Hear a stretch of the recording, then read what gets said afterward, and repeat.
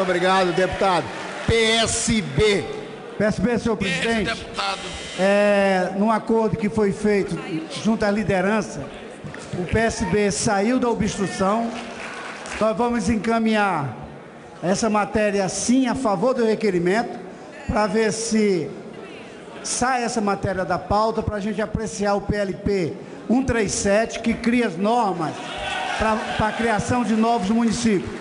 Meu estado, o estado do Acre, tem apenas 22 municípios, temos diversas vilas prontas para ser criada nova município, que nem a Vila Campina, que nem a Vila Santa Luzia, que nem um novo município no município de Porto Acre, que é um município muito difícil de ser administrado pelo tamanho que é o município em termos de território. Então o PSB vai votar sim para a gente sair dessa pauta e para passar a apreciar o PLP 137, que autoriza a criação de novos municípios no nosso Brasil.